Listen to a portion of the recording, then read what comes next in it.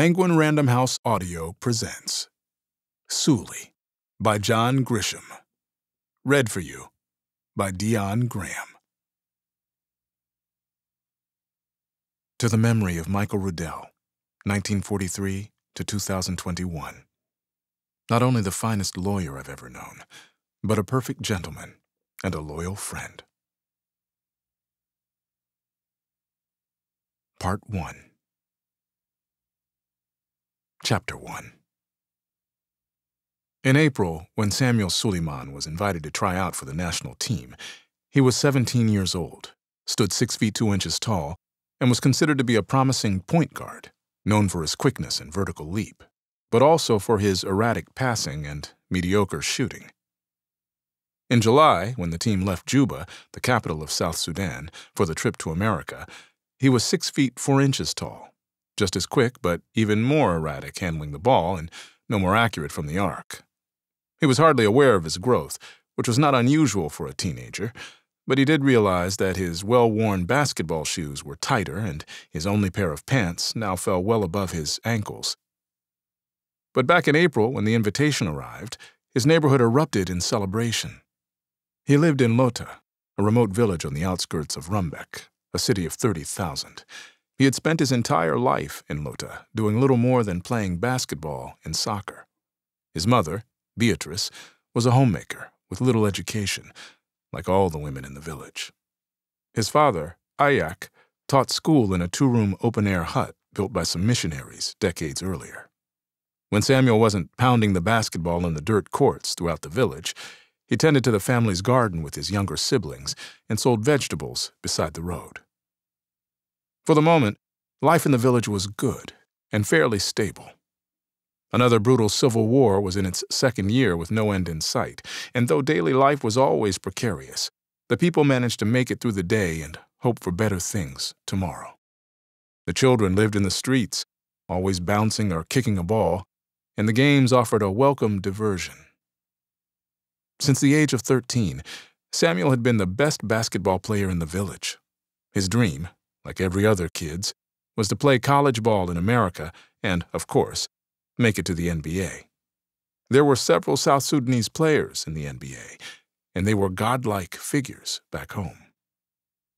When the news of his invitation spread through the village, neighbors began gathering in front of the Sooleymon's thatched roof hut.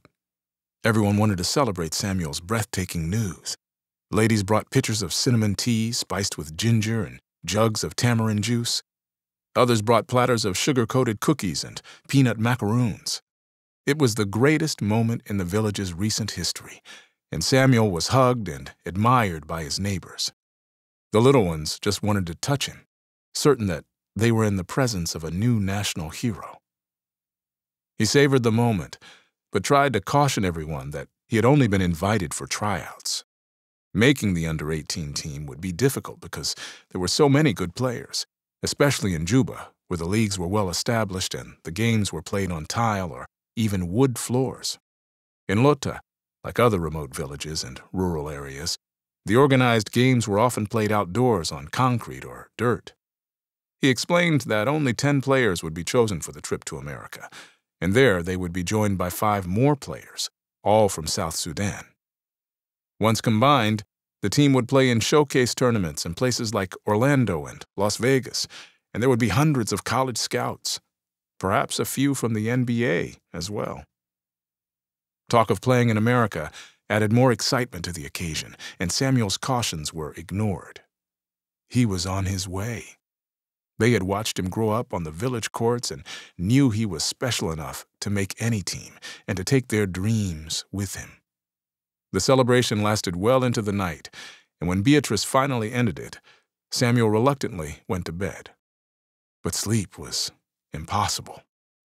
For an hour, he sat on his cot in his tiny bedroom, one that he shared with his two younger brothers, Chol and James, and whispered excitedly with them. Above their cots was a large poster of Niolo, the greatest of all South Sudanese players, soaring high above the rim and slamming a dunk in his Boston Celtics uniform, one which Samuel often fantasized wearing. He rose early the next morning and collected eggs from the family's flock of chickens, his first chore of the day. After a quick breakfast, he left for school with his backpack and his basketball. James and Chol followed him to their neighborhood court, where he shot for an hour as they retrieved the ball and fed it back to him. Other boys joined them, and the familiar noise of bouncing balls and friendly banter echoed through the sleepy morning. At eight o'clock, the games reluctantly broke up as Samuel and his brothers left for classes. He was in his last year of secondary school and would graduate in a month. He considered himself fortunate. Less than half of his peers, boys only, would finish secondary, and only a fraction even dreamed of university. There were no classes for the girls. As Samuel dribbled off to school, his dreams were now drifting to colleges far away. Chapter 2 Two weeks later, early on a Friday morning, the entire family made the long walk to the bus station in Rumbek and watched him leave for Juba and a long weekend of vigorous competition. They waved him off with his mother and sister in tears. He would return the following Monday. The departure was an hour late, which for South Sudan was quite prompt. Because of bad roads and crowded buses, the schedules were flexible. Often there was no bus at all, and breakdowns were common. It was not unusual for a bus to quit in the middle of the road and its passengers be sent off on foot to the nearest village. Samuel sat on a crowded bench in the front of the bus, wedged between two men who said they had been riding for three hours. They were headed to Juba to look for work, or something like that. Samuel wasn't certain because their English was broken and mixed with Nuer, their tribal tongue. Samuel was Dinka, the largest ethnic class in the country, and that was his first language. English was his second. His mother spoke four. Across the narrow aisle was a woman with three children, all of them wide eyed and silent.